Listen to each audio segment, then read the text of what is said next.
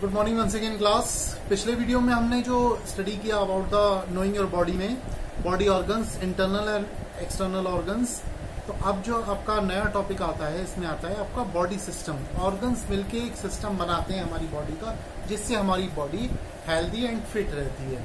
तो उसके वो सिस्टम क्या है, किस तरीके से वर्क करता है स्टेप बाय स्टेप हम उस सिस्टम के बारे में जानेंगे, उसके बारे में पढ़ेंगे। तो सबसे पहला बॉडी सिस्टम है सिस्टम है आपका सर्कुलेटरी सिस्टम सर्कुलेटरी सिस्टम जो आपका, जो आपकी बॉडी में ब्लड को पूरे बॉडी पार्ट्स में आपके सर्कुलेट करता है। कौन सर्कुलेट करता है? हार्ट आपका मेन ऑर्गन जो है इस सर्कुलेटरी सिस्टम का हार्ट हार्ट जो है आपकी बॉडी में, पूरे, पूरी बॉडी में आपकी ब्लड को सर्कुलेट करता है with the help of arteries and veins arteries में आपका प्योर ब्लड जाता है वेन्स में आपका इम्प्योर ब्लड जो है वो रिलीज़ होता है वापस आता है तो आपकी पूरी बॉडी को प्योरीफाई करता है। आपकी बॉडी में आ, में ब्लड के थ्रू ऑक्सीजन और ग्लूकोज प्रोवाइड करता है आपकी बॉडी ऑर्गन्स में। जितने भी बॉडी पार्ट्स हैं उन सब में आपको ये अवेलेबल कराता है। तो उसके बाद आपका आता है आपका सर्कुलेटरी सिस्टम जो आपकी पूरी बॉडी में जो वेस्ट प्रोडक्ट्स होते हैं उसको भी वो आपकी बॉडी से रिलीज़ करता है। जो इतने भी आपकी बॉडी में जो वेस्ट प्रोडक्ट्स हैं वो सारे आपकी बॉडी से रिलीज़ करता है और जो वेस्ट प्रोडक्ट्स जितने भी हैं जो आपकी ब्लड में ब्लड से निकलते हैं, वो आपकी बॉडी से रिलीज़ होना बहुत ज़रूरी है, बहुत ज़रूरी है और वो अगर रिलीज़ नहीं होंगे तो आपको बहुत सारी प्रॉब्लम्स क्रिएट होती हैं। सब तो ये सर्कुलेटरी सिस्टम में मेन ऑर्गन्स कौन सा इन्वॉल्व होता है? हार्ट ठीक है? उसके बाद आता है हाँ इसके साथ साथ ये आपकी बॉडी का टेम्परेचर भी मेंटेन रखता है। इसके बाद दूसरा आता है आपका डाइजेस्टिव सिस्टम। डाइजेस्टिव सिस्टम आप जो भी खाना खाते हैं और उसको डाइजेस्ट हो, होकर आपकी बॉडी में उसको ग्लूकोज में कन्वर्ट होकर पूरी बॉडी में ब्लड के थ्रू ट्रांसफ़र किया जाता है। तो ये जो होते हैं न्यूट्रिएंट्स पूरी बॉडी में ब्लड के थ्रू ग्लूकोज में, में कन्वर्ट होकर पूरी बॉडी में डाइवर्ट किए जाते हैं। फैलाए जाते हैं तो ये जो सिस्टम है, ये आपका डाइजेस्टिव सिस्टम कहलाता है। और डाइजेस्टिव सिस्टम में इंपॉर्टेंट ऑर्गन्स क्या होते हैं? आपके सबसे पहला जो आप फ़ूड पाइप के थ्रू आपकी बॉडी में जो फ़ूड जाता है, सबसे पहले कहाँ इकट्ठा होता है? स्टमक में। तो स्टमक जो है, आपके फ़ूड को डाइजेस्ट करता है। डाइजेस्ट करने के बाद आपका सबसे ज़्यादा टाइम जो है स्टमक में ही लगता है आपके फ़ूड को डाइजेस्ट करने में। और डाइजेस्ट कौन करता है, आपके लिवर से जो बाइल जूस सीक्रेट होते हैं, वो आपके फ़ूड को जो है वो डाइजेस्ट करते हैं, इसलिए हमेशा ध्यान रखें, कभी भी आपको भूख लगे तो इतना खाना खाएँ जो, जितना आपके स्टमक में थोड़ी जगह रह जाए। यानी अब ये आप कैसे पता लगाएँगे कि आपके स्टमक में जगह है या नहीं है? आप इसके इसके लिए इतना ध्यान रखें कि कभी भी आप खाना खाएँ तो आप एक रोटी की भूख आपको रह जानी चाहिए ताकि स्टमक को डाइजेस्ट करने में आसानी हो। दूसरी बात यह है कि आप जो है ब्रेकफास्ट जो है आप हैवी करें हैवी से हैवी ब्रेकफास्ट करें लंच उससे हल्का करें। और जो है डिनर आपका सबसे हल्का होना चाहिए। फॉर एग्ज़ाम्पल आपका डिनर जो होता है, वो बहुत हैवी हो जाता है। आपका लंच जो है, उससे थोड़ा कम होता है। ब्रेकफास्ट तो बिल्कुल ना के बराबर तो इससे आपकी बॉडी में बहुत सारी प्रॉब्लम्स क्रिएट हो जाती हैं। तो आपको और खाना जो है, आपको आठ, साढ़े आठ बजे तक शाम तक खा लेना चाहिए, जितना जल्दी हो सके, ताकि उसको डाइजेस्ट करने में बॉडी को, आपके डाइजेस्टिव सिस्टम को आसानी रहती है। जब जितना आप देर से खाना खाते हैं, उतना ही आपके लिवर पर, आपके स्टमक पर इसका खराब असर पड़ता है। खाना खाने के बाद पानी बिल्कुल ना पिए, हो सके तो आधे से एक घंटे बाद ही पानी पिए। आप खाना, जब भी खाना खाएँ, पहले आप पानी पी लीजिए। एक दो घूंट खाना खाने के बीच में पी लीजिए, लेकिन खाना खाने के बाद आप पानी ना पिए। अगर आप पानी पी लेते हैं खाना खाने के बाद तो आपकी बॉडी में जो बाइल जूस हैं, जो आपके फ़ूड को डाइजेस्ट करते हैं, वो पानी पीने से वो डाइल्यूट हो जाते हैं और आपका फ़ूड जो है वो ठीक ठीक से डाइजेस्ट नहीं हो पाता। तो ये आपका डाइजेस्टिव सिस्टम हो गया। दूसरा आता है आपका इम्यून सिस्टम इम्यून सिस्टम आपका क्या है कि आजकल जो देख रहे हैं, सब लोग आप टीवी भी बैठ देख रहे हैं, आपके इम्यून सिस्टम को स्ट्रॉन्ग करने के लिए इम्यून सिस्टम क्या चीज़ है? आपकी बॉडी को डिफेंड करता है बहुत सारे आपके रोगाणुओं से पैथोगन से आपकी बॉडी को ये जो है रिमूव करता है। ठीक है? डिफेंड करता है सॉरी तो ये आपकी बॉडी को तभी डिफेंड कर पाएगा जब आपका इम्यून सिस्टम आपकी बॉडी को स्ट्रांग होगा। जितनी भी बहुत सारी चीज़, जो भी आप खाना खाते हैं तो आपकी बॉडी में अच्छी चीज़ें भी होती है और कुछ ना कुछ रोग जनरेटेड चीज़ें भी आपकी बॉडी में जाती हैं।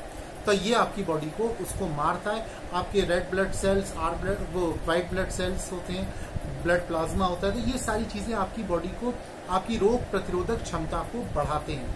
आपकी बॉडी की जो डिफेंस सिस्टम है, उसको मज़बूत करते हैं। आजकल कोरोना जो चल रहा है तो कोरोना से का असर उन पर ज़्यादा हो रहा है जिनका इम्यून सिस्टम वीक है। अगर आप इम्यून सिस्टम अपना अच्छा कर लेंगे तो आपको बहुत सारी कोरोना ही नहीं, बहुत सारी प्रॉब्लम से जो वेदर से रिलेटेड प्रॉब्लम्स होती हैं, सर्दी, जुकाम, खांसी और बहुत सारी प्रॉब्लम्स होती है, उनसे आप बहुत आसानी से लड़ सकेगी आपकी बॉडी और पूरे तरीके से स्ट्रांग बन सकेगी। इसके बाद आता है फोर्थ नंबर पर।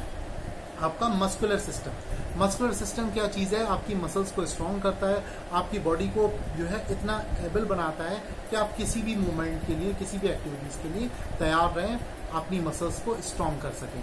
तो ये मस्कुलर सिस्टम किसी भी चीज़ को पकड़ना, उठाना, खींचना, ये आपकी मसल्स की स्ट्रॉन्ग करता है, ये आपकी पूरा मस्कुलर सिस्टम जो है वो आपका माइंड से कमांड होता है। तो ये आपका मस्कुलर सिस्टम है। इसके बाद आता है नर्वस सिस्टम नर्वस सिस्टम जो आपके माइंड से आपके माइंड से आपकी इंफॉर्मेशन को कलेक्ट करता है और पूरे जो है बॉडी में पूरी उसको आपकी आपकी पूरी बॉडी को उसका कमांड देता है। तो ये आपका नर्वस सिस्टम होता है। आपकी मसल्स को, आपके बॉडी पार्ट्स को, आपके ऑर्गन्स को, आपके सब चीज़ों को कमांड देता है। ये कहलाता है आपका नर्वस सिस्टम इसको न्यूरोमस्कुलर सिस्टम भी कहते हैं।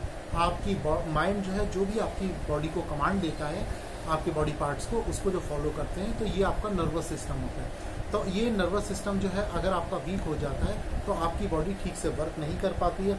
और जब कमांड ही नहीं मिलता है, जैसे मैंने आपको पहले पिछले वीडियो में बताया था कि ये आपका जो है कोमा में भी आपकी बॉडी जा सकती है। तो नर्वस सिस्टम आपका बहुत स्ट्रांग होना चाहिए, बहुत एक्टिव होना चाहिए और क्विक डिसीज़न एबिलिटी आपके अंदर बहुत स्ट्रांग होनी चाहिए। इसके बाद आता है आपका रेस्पिरेटरी सिस्टम रेस्पिरेटरी सिस्टम आम से जानते हैं, इसमें सबसे ज़्यादा इन्वॉल्व होने वाला बॉडी ऑर्गन्स कौन सा है?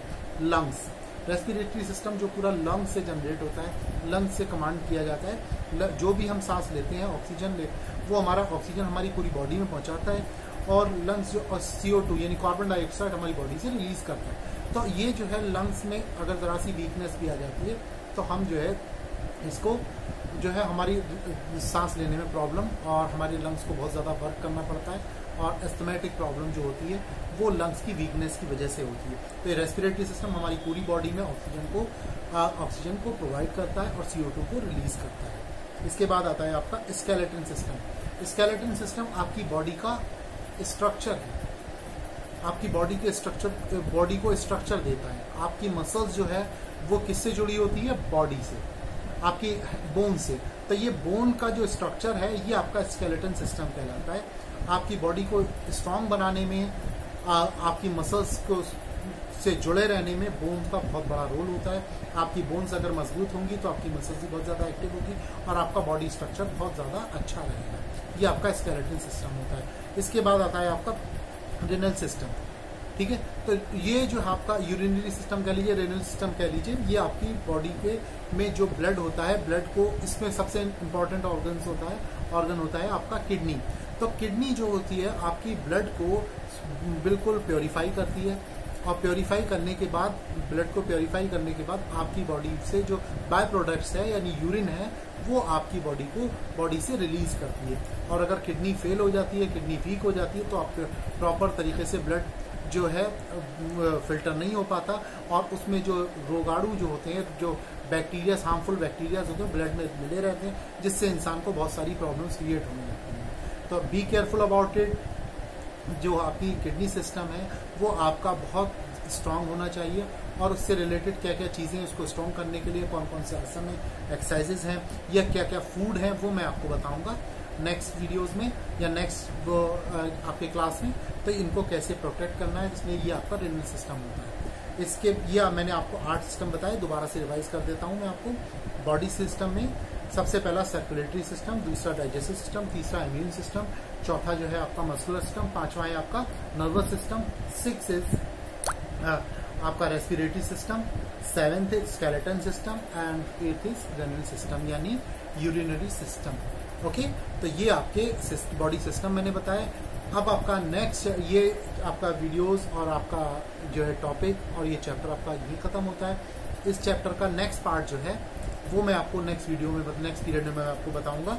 वो आपका जिसमें आपका how to protect your body from various bad habits and diseases आप अपनी बॉडी को बैड हैबिट से और डिज़ीज़ से कैसे दूर रख सकते हैं, ये मैं आपको स्टेप बाय स्टेप बताऊँगा और उसके बाद आपका टाइप्स ऑफ़ बॉडीज जो है, वो कितने तरीके की बॉडी होती है बॉडी टाइप होती है, वो मैं आपको बताऊँगा और आप खुद भी चेक कर सकते हैं कि आपकी बॉडी टाइप क्या है और कैसी है। ठीक है? तो ये सारा आपका नेक्स्ट पीरियड में मैं आपको कंटिन्यू करूँगा। फ़िलहाल इसके साथ मैं आपको क्वेश्चन आंसर दूँगा, लेकिन क्वेश्चन आंसर मैं आपको तभी दूँगा जब ये आपका चैप्टर पूरा कंप्लीट हो जाएगा। ठीक है? तो जब तक आप लोगों को इसी चैप्टर को दोबारा से रिवाइज करना है और उसकी जो क्वेश्चन आंसर है, उसको जो मैं दूँगा, उसको आपको तैयार करके अपनी कॉपी बनाना है। ठीक है? Good bye and stay safe in home